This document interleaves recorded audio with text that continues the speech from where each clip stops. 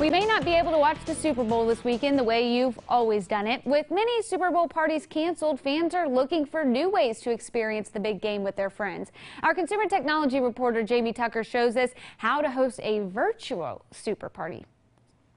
I'm not going to say it's the next best thing, but don't dismiss this idea of a virtual Super Bowl party. It can work and it can be a lot of fun if you have some pregame preparations. If you're using Zoom for your virtual party, you'll need to make sure the person hosting has a paid account.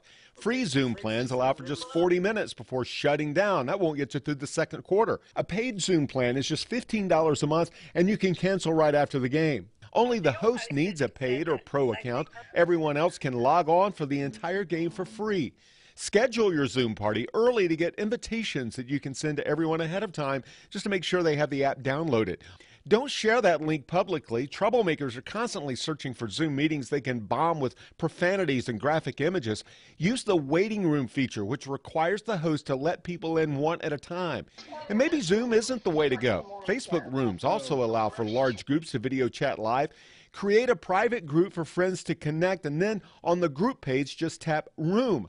You can schedule it or start it right away. Everyone will see the post, and you can join the party over Facebook. A couple more things. Don't feel like you have to hold the phone and be on camera the whole time. Everyone's watching the game. This is just a way to stay connected. Mute your microphone if you're talking to someone in your house. And please, no talking during the commercials. That's what the tech. I'm Jamie Tucker. That's right. Those commercials are the best. And I hope you have a super Super Bowl party.